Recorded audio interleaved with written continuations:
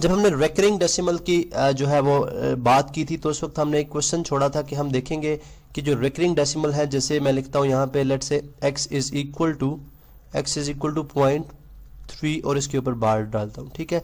तो वो क्वेश्चन ये था कि हम जो है इस पे बात करेंगे कि जो रेकरिंग डेसिमल्स हैं, उनको हम p बाई क्यू फॉर्म के अंदर किस तरह से रिप्रेजेंट करते हैं, ठीक है? अब ये एक क्वेश्चन था जो कि मैंने वहाँ पे जो है वो रेज किया था और हमने बोला था हम इसकी बात करेंगे और आज हम इसी के ऊपर बात करते हैं कि अगर आप ये देखें पॉइंट थ्री इसके ऊपर बार है, यानी अगर एक ऐसा नंबर जिस जो पॉइंट पॉइंट के बाद थ्री थ्री जो है वो इन्फिनिटी तक रिपीट हो रहा है, ठीक है? आज हम देखेंगे कि हम इस नंबर को पी बाई क्यू फॉर्म के अंदर किस तरह से लिखेंगे, ठीक है? तो सबसे पहले हम देखते हैं कि एक्स को लिख सकता हूँ मैं जी कि point three three three three और ये इसी तरह इन्फिनिटी तक मूव करता जा रहा है, ठीक है? अब सबसे फ़र्स्ट इसको हम बोल देते हैं लेट से ये हमारे पास इक्वेशन नंबर वन है, ठीक है? इसको हम इक्वेशन नंबर वन से ज़ाहिर करते हैं। नेक्स्ट स्टेप जो हमारे पास हम कहते हैं जी multiplying ten on both side हम टेन को दोनों साइड्स पे मल्टीप्लाई करते हैं। Multiplying ten on both sides on both sides जब हम टेन को दोनों साइड्स पे मल्टीप्लाई करेंगे तो हमारे पास जो सिचुएशन बनेगी x into ten ten x हो जाएगा, ठीक है? इसी तरह टेन को हम मल्टीप्लाई करा देंगे point three three three three और इसी तरह इन्फिनिटी तक, ठीक है? अब यहाँ पे हम कैलकुलेटर यूज़ कर लेते हैं, ठीक है? अगर आप देखें तो यहाँ पे हमारे पास लेट से अगर हम वन डिवाइडेड बाई थ्री करें तो हमारे पास ये ये नंबर आता है जी कि पॉइंट थ्री ये वाला जो हमारे पास रेकरिंग डेसिमल है ये आता है, अगर आप देखें पॉइंट थ्री थ्री ठीक है? इस तरह अगर मैं इसको मल्टीप्लाई कराऊँ, आप टेन के साथ, ठीक है मल्टीप्लाई बाय टेन तो हमारे पास जो आएगा आंसर वो क्या है? Three point three three three ठीक है? तो लिहाजा यहाँ से बात समझ आई कि टेन एक्स इक्वल हो जाएगा फिर ten x is equal to three point three three three and and so on ठीक है? इसको हम बोल देते हैं इक्वेशन टू ठीक है? इससे, इसको टू बोल देते हैं। अब नेक्स्ट स्टेप जो हमारा ये है कि हम करेंगे? सब्ट्रैक्टिंग सब्ट्रैक्ट कराएँगे। किसको जी?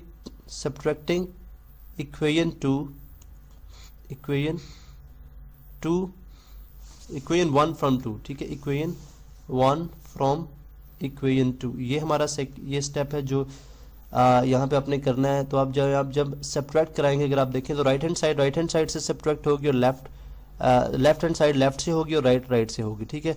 तो लिहाजा हमारे पास सब्ट्रैक्शन करते वक्त जो आएगी, वो चीज़ आएगी जी कि ten x minus x ten x minus x ठीक है? इसी तरह three point three three three and infinity तक minus point three three three और इन्फिनिटी तक, ठीक है? अब अगर आप देखें तो टेन एक्स माइनस एक्स हमारे पास आ जाएगा नाइन एक्स ठीक है? विच इज़ इक्वल टू अगर आप थ्री पॉइंट इसमें से अगर आप सब्ट्रैक्ट करें, ठीक है? यहाँ पे हम लेट से हम यहाँ पे कर लेते हैं, ठीक है? अगर मैं इसमें से माइनस करूँ पॉइंट थ्री थ्री थ्री ठीक है? तो हमारे पास जो आंसर आ रहा है वो क्या है? थ्री सिंपल क्या है? थ्री लिहाजा यहाँ पे थ्री माइनस ये करेंगे तो हमारे पास आ गया three point zero zero zero ठीक है, क्योंकि थ्री में से थ्री ये सब्ट्रैक्ट होते जाएँगे, हमारे पास ज़ीरो आता जाएगा इन्फिनिट तक। इस पॉइंट के बाद हम ज़ीरो को इग्नोर कर सकते हैं तो लिहाजा हम ये बात कर सकते हैं जी कि nine x is equal to हो जाएगा three nine x is equal to हो गया थ्री एक्स हमारे पास आ गया थ्री बाय नाइन ठीक है थ्री बाय नाइन और अभी अगर आप देखें तो ये पी बाई क्यू फॉर्म अगर मैं इसको मजीद सॉल्व करूँ, ठीक है तो मेरे पास three one time three three three times and वापस वही नंबर आ जाएगा, जिस, जो हमने स्टार्ट किया था x equal to one by three ठीक है? तो लिहाजा ये जो है, ये पी बाई क्यू फॉर्म है। इसलिए हमने बोला था जी नॉन रेकरिंग फॉर्म जो होती है, वो बेसिकली सॉरी जो रेकरिंग फॉर्म होती है, वो पी बाई क्यू के अंदर लिखी जा सकती है। इसलिए हम उसको बोलते हैं जो है वो पी बाई इस पी जो है वो रैशनल नंबर्स हैं, ठीक है?